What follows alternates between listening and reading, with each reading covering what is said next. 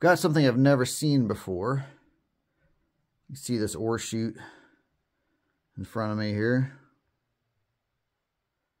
And they've got Joshua trees for support timbers.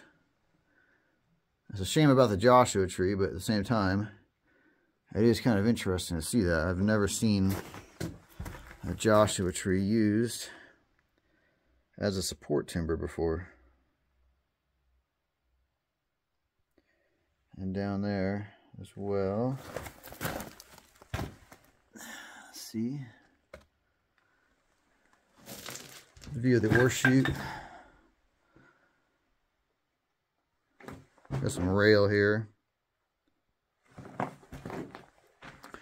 It's just a stope chamber with stuff running off in all directions.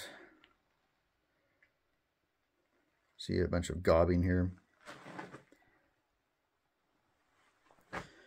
Anyway, just thought it was interesting seeing that Joshua tree action there. It's too bad somebody burned the rest of this. But interestingly, so I burned all this wood here. I didn't burn the Joshua tree. That is interesting. All right.